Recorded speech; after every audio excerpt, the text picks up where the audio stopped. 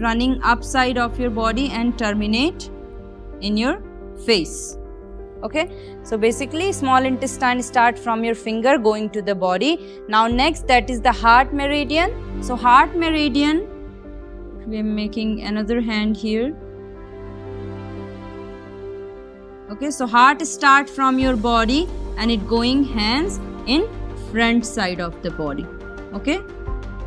So heart present in front body and small intestine present in back body back side of the hand clear? Okay so it start from here from your body and it going to your towards your pinky finger it covering the front side of the body as you can see in this picture. Okay? In this picture it start from here okay? And then it running start from here and it running the inner side of your hand covering your palm and it terminating and at the tip of your pinky finger at the corner of your nail. Okay? Now after this we will going to cover some points here in heart meridian. That is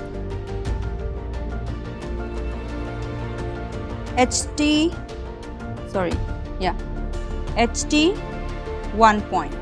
And then HT 3 point. HT 8 point.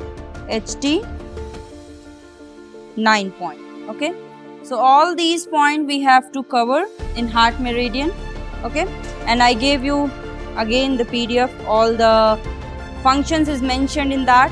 So very first point the HT1 that is present here at your front of your underarm okay? So this is your underarm the first point present in front of your underarm right hand or both side this is the principal meridian. It present both side of the body. Okay?